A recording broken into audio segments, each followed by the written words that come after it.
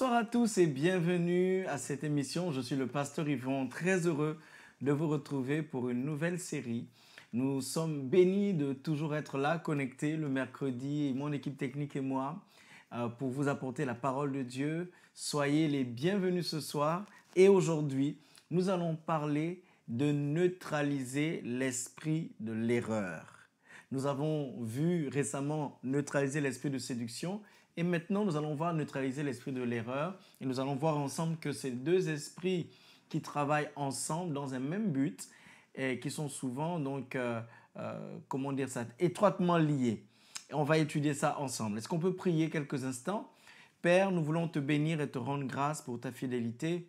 Merci pour cette opportunité que tu nous donnes euh, autour de ta parole. Ta parole est une lampe à mes pieds, une lumière sur mon sentier. Qu'elle vienne encore nous éclairer nous donner la sagesse et l'intelligence de Dieu afin de comprendre les plans merveilleux qu'il a pour nous et que nous soyons au cœur de ta volonté parfaite. Bénis chaque personne qui est connectée et qui partage ce programme. Bénis chaque personne qui reçoit cette parole dans son cœur au nom de Jésus. Amen. Amen, amen. Gloire à Dieu, gloire à Dieu. Je salue euh, toutes les personnes qui sont connectées ce soir, que vous soyez de Assuer Lyon, Montpellier ou toutes les autres églises ACER, ou peut-être même que vous ne faites pas partie de la famille ACER, vous êtes les bienvenus pendant ce live où nous sommes en train d'étudier euh, ce thème, neutraliser l'esprit d'erreur. Alors vous allez peut-être vous dire, mais Pasteur Yvon, qu'est-ce que tu as ces temps-ci? Tu parles beaucoup d'esprit. Euh, euh, tu vois les esprits partout. Non, je vous rassure, je suis quelqu'un de très équilibré. Je suis quelqu'un qui est fondé sur les Écritures et quelqu'un qui entend également la voix du Seigneur. Et euh, j'ai eu cette inspiration il y a quelque temps de pouvoir étudier euh, euh, ces, ces, deux manifestations démoniaques qui sont à l'origine de beaucoup de dégâts dans la vie des chrétiens, dans la vie des gens d'une manière générale, et surtout ça freine considérablement l'œuvre de Dieu. Donc on a déjà parlé de l'esprit de séduction, et maintenant, on va parler de l'esprit d'erreur. Effectivement, souvent ces deux esprits agissent ensemble. D'abord, l'esprit de séduction, qui a pour but de vous amener en vous séduisant dans l'erreur. OK? Donc, l'esprit de séduction, sa mission, c'est vraiment de vous séduire pour que vous preniez une mauvaise décision, pour que vous fassiez un mauvais choix. Vous comprenez ça? Et quand le mauvais choix est fait, quand la mauvaise décision est prise, vous vous retrouvez systématiquement dans l'erreur. Et l'esprit d'erreur, lui, son but, c'est de faire en sorte que vous n'ayez pas ou jamais le bon résultat. Le résultat voulu par Dieu, le résultat attendu par rapport à une situation. Vous comprenez ça? Donc, c'est des, esprits qui agissent ensemble pour vraiment euh, freiner l'œuvre de Dieu dans la vie des chrétiens, pour freiner l'avancée du royaume de Dieu, beaucoup de personnes vont être séduites et puis vont être poussées dans l'erreur, maintenues dans l'erreur, aveuglées pour ne pas voir qu'on est dans l'erreur. Alors, donc l'erreur, euh, euh, l'esprit d'erreur intervient pour garantir, s'assurer, veiller que nous n'obtenions pas le bon résultat, ok, que nous n'atteignions pas l'objectif voulu.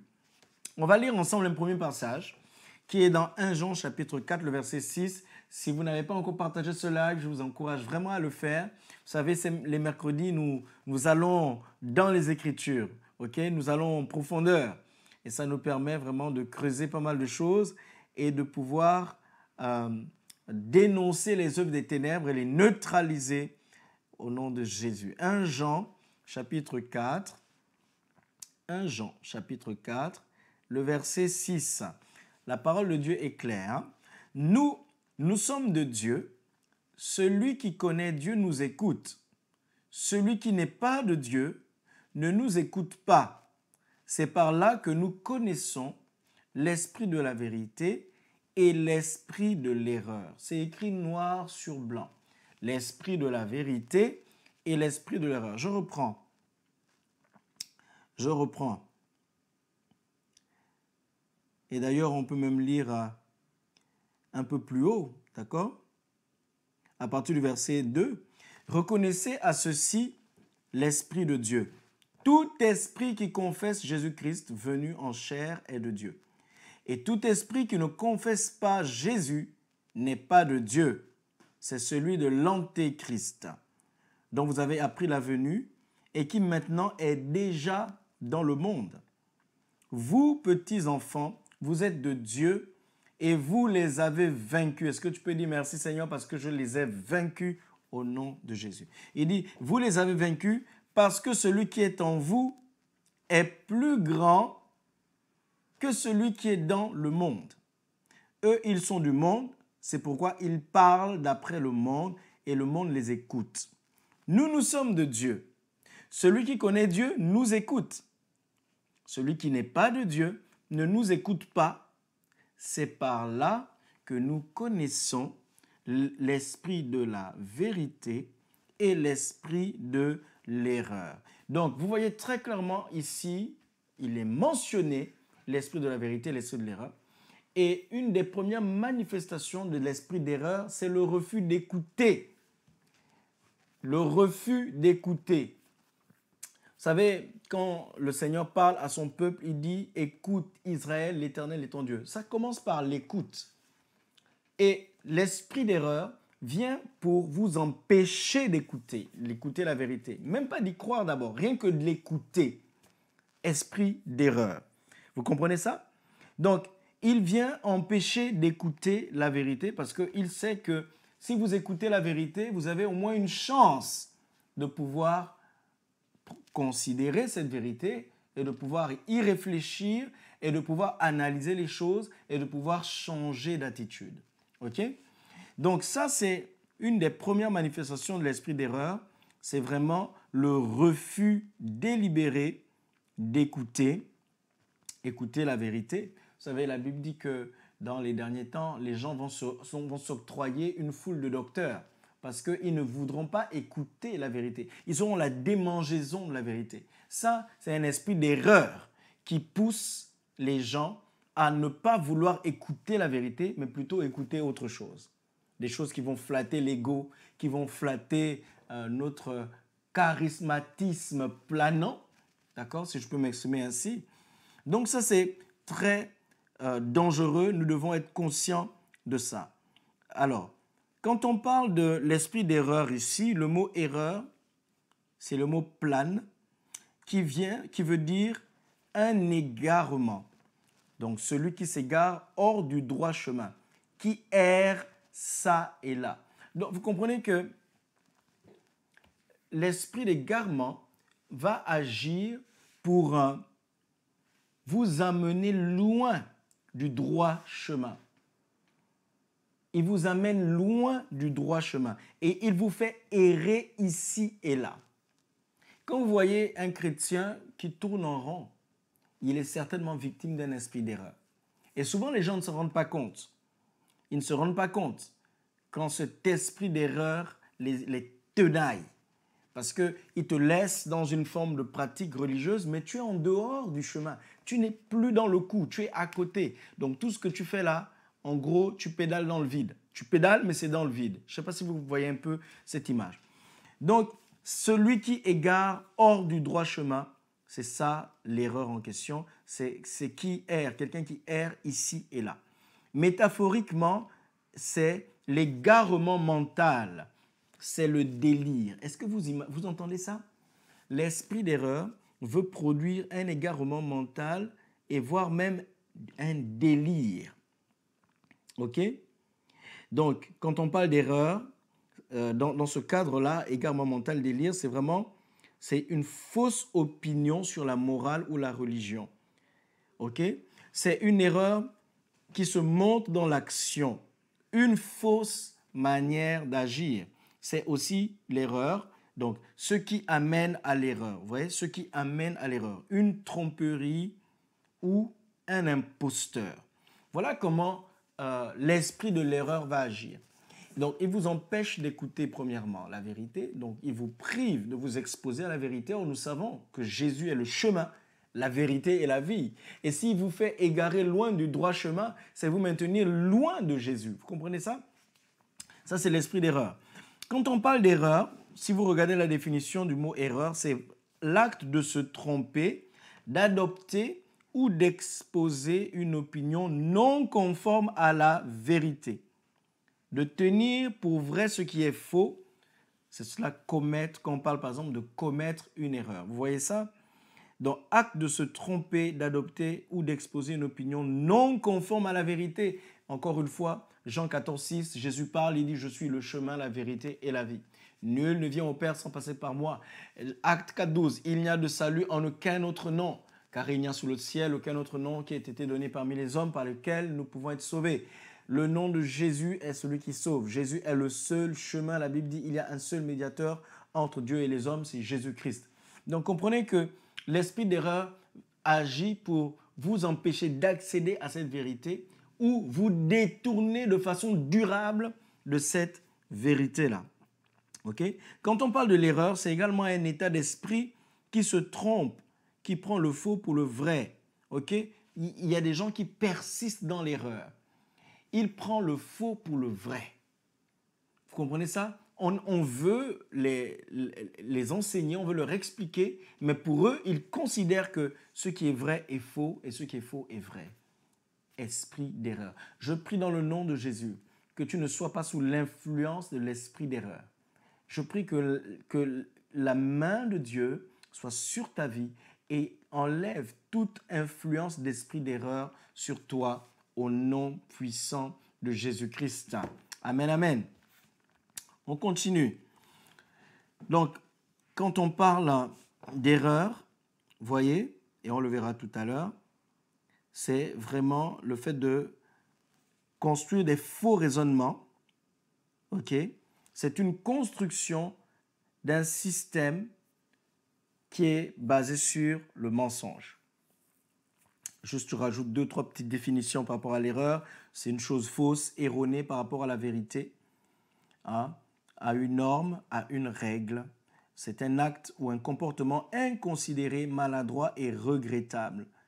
Comprenez, c'est une faute.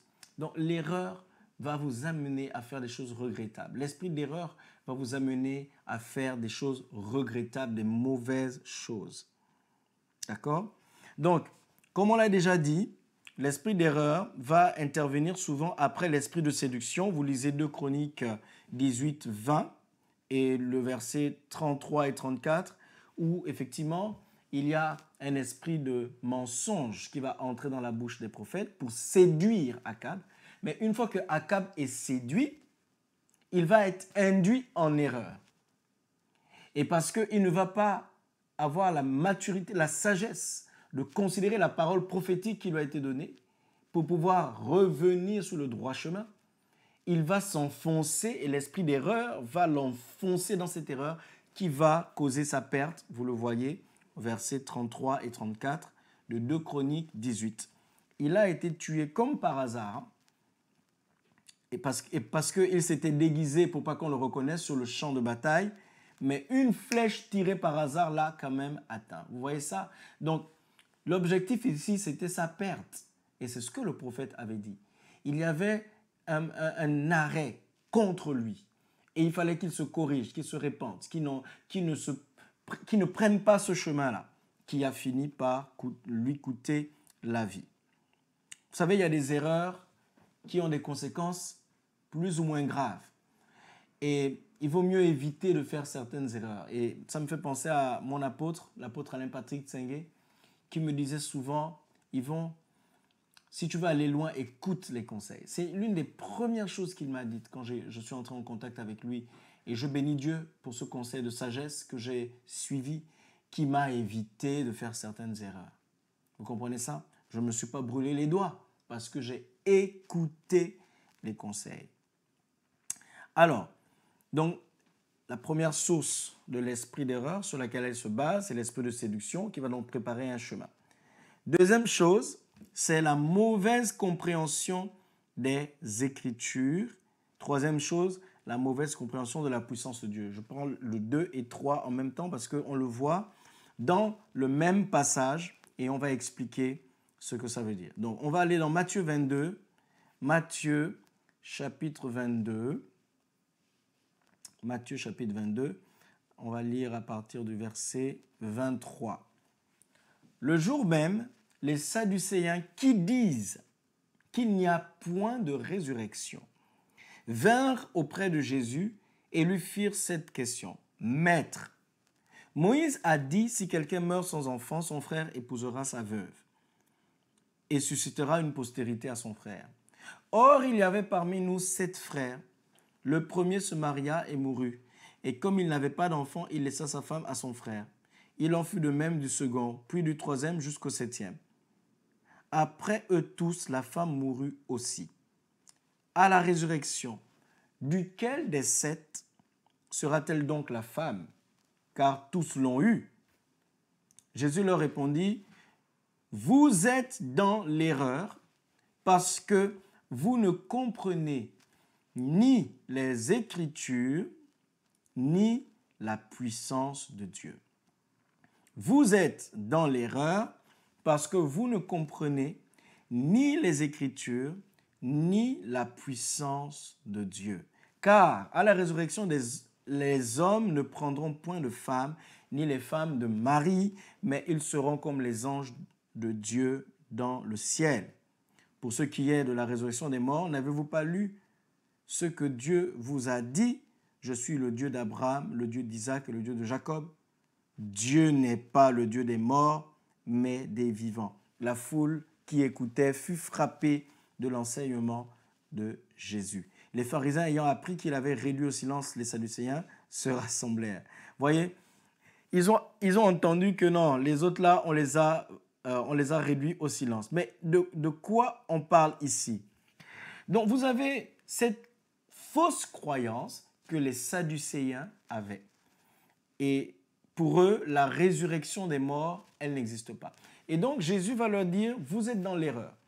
Vous êtes sous l'influence d'un esprit d'erreur. Vous êtes manipulé et aveuglé par un esprit d'erreur. Parce que vous croyez dur comme fer que la résurrection n'existe pas. Hein? Donc ça prouve que vous ne comprenez pas les Écritures, vous ne comprenez pas la puissance de Dieu.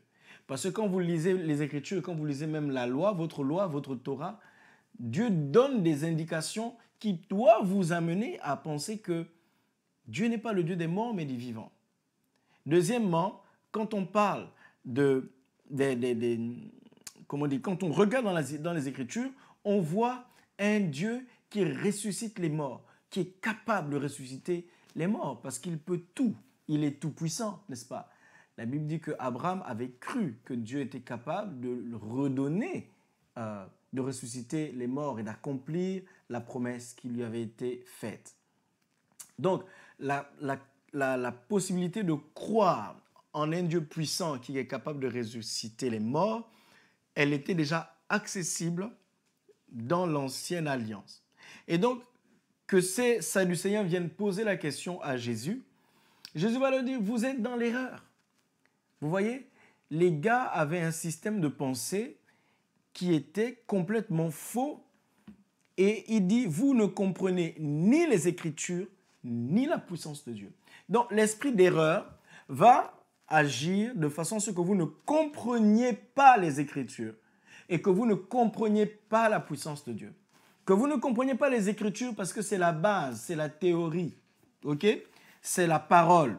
Quand on regarde tout ce qui euh, constitue la foi, la relation entre Dieu et l'homme est basée sur la révélation de la parole. Donc il y a une certaine théorie qui permet de comprendre le pourquoi des choses, qui permet de comprendre le dessein de Dieu, le but que Dieu voulait atteindre.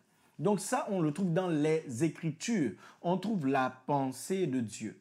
Donc celui qui ne comprend pas les Écritures, il va être induit en erreur. Et comprenez que l'esprit d'erreur agit à tous les niveaux pour que les gens ne puissent pas comprendre les Écritures. Donc ils n'écoutent pas. Et quand ils essayent de réfléchir, ils brouillent le système de pensée. Ils amènent des fausses pensées, ils amènent des faux raisonnements. On va le voir tout à l'heure après. Donc, c'est important de faire la différence. Et justement, je vous parlais des faux raisonnements. Regardons dans Jacques chapitre 1, le verset 22. Donc, n'oubliez pas que Jésus a dit, vous êtes dans l'erreur parce que vous ne comprenez pas les Écritures ni la puissance de Dieu. Jacques 1, verset 22. Écoutez ce que la Bible dit. Mettez en pratique la parole et ne vous bornez pas à l'écouter en vous trompant vous-même par de faux raisonnements. Donc l'esprit d'erreur agit pour construire des faux raisonnements, des mauvais systèmes de pensée, des mauvais systèmes d'analyse qui vont vous induire de fait dans l'erreur. Je ne sais pas si vous comprenez. Et ça vous induit de fait dans l'erreur. Quand on parle d'un faux raisonnement, c'est des forteresses qui sont là, qui font en sorte que vous avez la bonne information qui arrive, mais quand elle passe par votre système de raisonnement, les, choses sont détournées et ça vous amène directement dans l'erreur. Il dit, mettez en pratique et ne vous mettez en pratique la parole et ne vous bornez pas à l'écouter en vous trompant vous-même par de faux raisonnements. Donc vous avez des faux raisonnements qui vont donc accepter en comment dire ça une partie de la parole de Dieu parce que pour compléter l'acceptation, il faut la pratiquer. Non, la mise en pratique, ce n'est pas, pas nécessaire. Tu acceptes déjà intellectuellement, tu es d'accord avec ça. Maintenant, sur la pratique, bon, c'est pas grave. Et, et, ça ne pose pas de problème. Oh, que si, ça pose un problème. Si tu écoutes la parole de Dieu, il faut la mettre en pratique. Regardez, verset 23. Car si quelqu'un écoute la parole et ne la pratique pas, il est semblable à un homme qui regarde dans un miroir son visage naturel et qui, après s'être regardé, s'en va et oublie aussitôt quel il était. Vous comprenez ça? Donc il y a une image que Dieu dit de toi, une image que Dieu t'a donnée, qui est dans la parole de Dieu. Donc quand tu, et quand tu médites la parole de Dieu, tu, tu la comprends, tu la reçois dans ton cœur. Amen, gloire à Dieu. Maintenant, la deuxième partie consiste à la mettre en pratique. Le fait de refuser de mettre en pratique, c'est l'image, c'est que tu oublies ce que tu es. Et lorsque tu oublies ce que tu es, mon ami, tu n'auras pas d'assurance dans la vie et le diable va s'amuser avec toi parce que tu as un doute sur ton image, l'image que Dieu a arrêtée pour toi. Donc, nous devons identifier comment l'esprit d'erreur agit. Il va d'abord vous empêcher d'écouter, mais si vous réussissez à écouter quand même, il va tordre votre raisonnement pour que vous compreniez les choses à l'envers, d'une part, et d'autre part, si vous avez compris, il va vous empêcher de pratiquer la parole, ce que vous avez compris, pour pas que cette parole puisse euh, vous bénéficier véritablement. OK? Prenons un exemple. Lorsque vous étudiez la parole de Dieu, on parle de euh, comment dire, quand on parle des offenses, d'accord, on parle du pardon des offenses. Mais vous avez des faux raisonnements qui vont consister à dire ceci. Si tu as été offensé par quelqu'un, c'est que cette personne est une mauvaise personne. Donc, pour éviter d'être offensé à nouveau, autant se séparer de cette personne. Au lieu de réparer, au lieu de pardonner l'offense, tu vas raisonner en te disant de toute façon cette personne ne va jamais changer. Donc, je ne veux pas rester là à me faire offenser. Je préfère me soustraire. Donc, au lieu de pardonner l'offense, tu, tu te déconnectes et tu coupes les ponts. Vous voyez ça?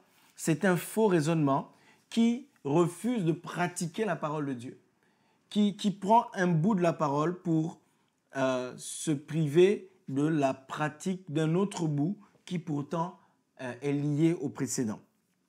Est-ce que vous comprenez ça?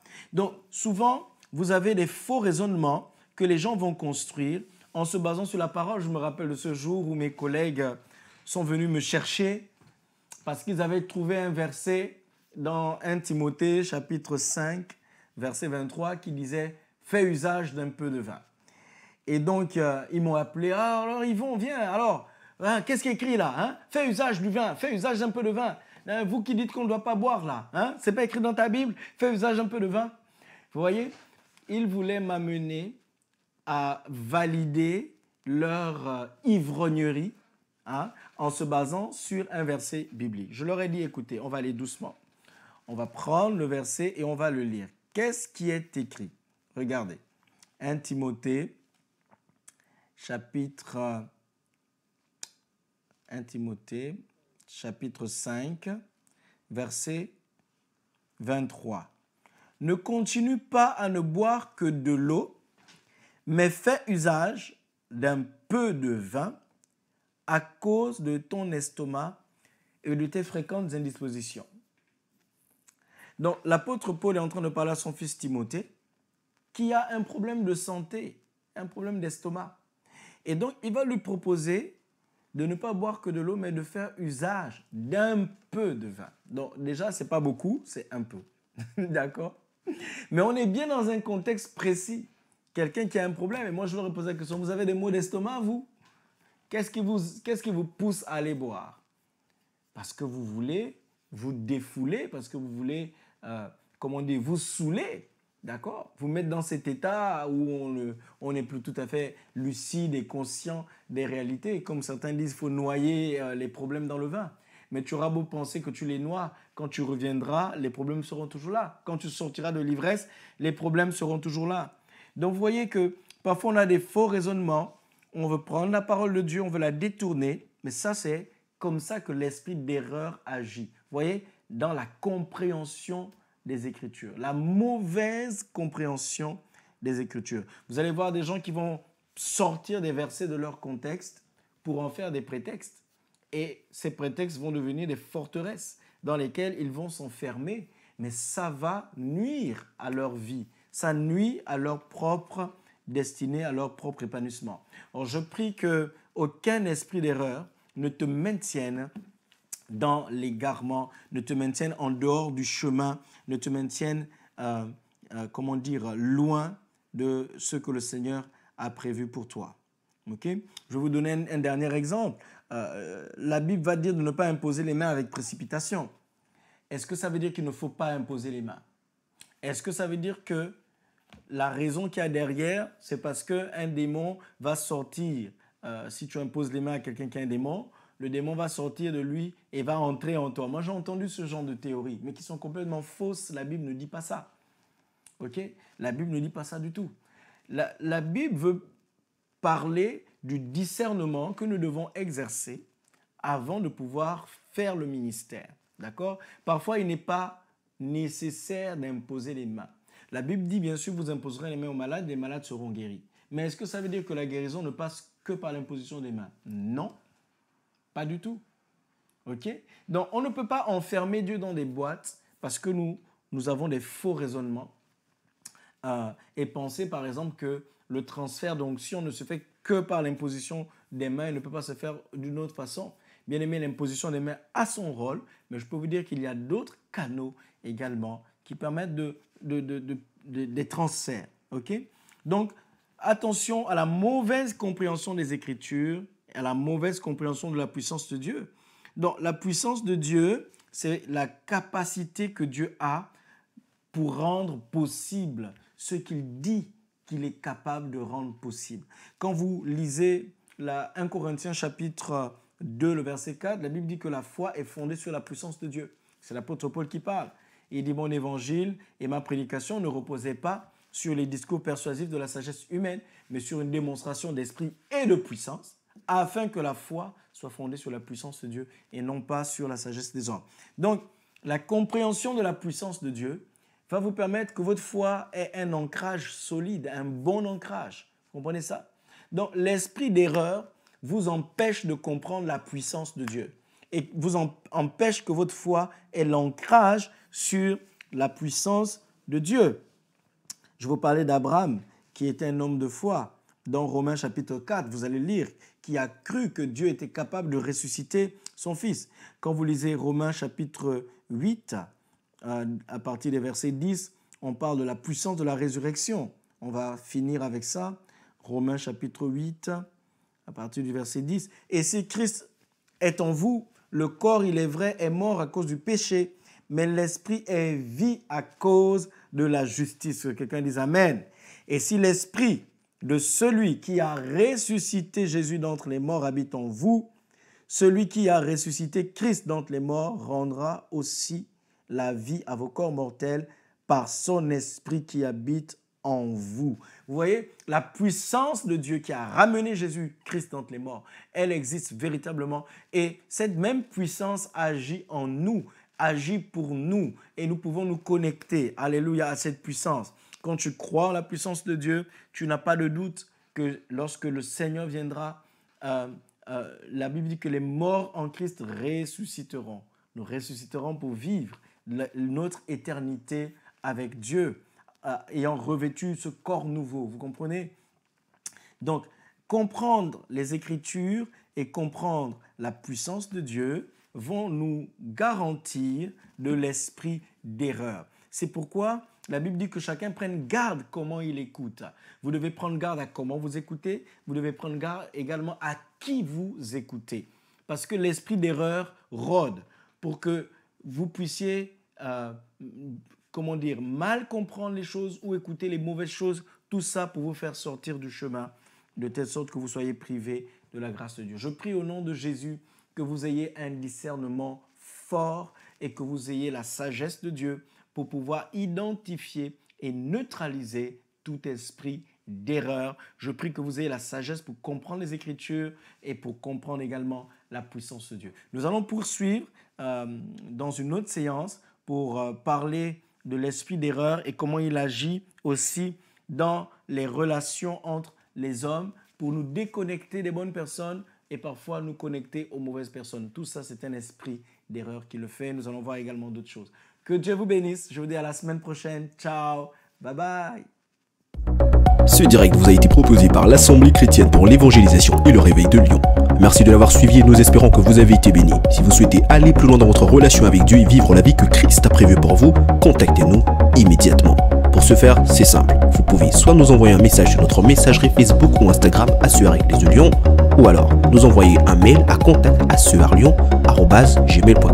Et n'oublie pas de t'abonner à notre chaîne YouTube et active la cloche de notification afin de ne plus manquer aucun de nos directs. Avant de partir, laisse-nous un commentaire, un pouce bleu et partage le lien de cette vidéo autour de toi. A très vite sur SUR Lyon.